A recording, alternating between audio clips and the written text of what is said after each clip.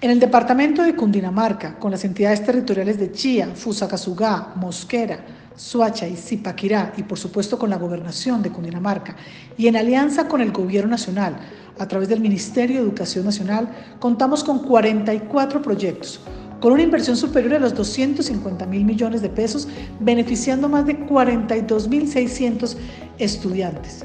De estos 44 proyectos, 33 ya fueron terminados y entregados a cada una de las entidades territoriales, 24 a Cundinamarca, 3 a Chía, 3 en Fusagasugá, 1 en Suacha y 2 en Zipaquirá. Siete proyectos ya están para iniciar las obras, 5 en Cundinamarca, 1 en Fusagasugá y 1 en Zipaquirá.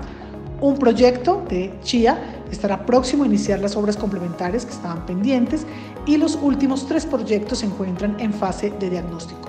Esto es para la entidad territorial de Cundinamarca, uno para Mosquera y uno para Soacha.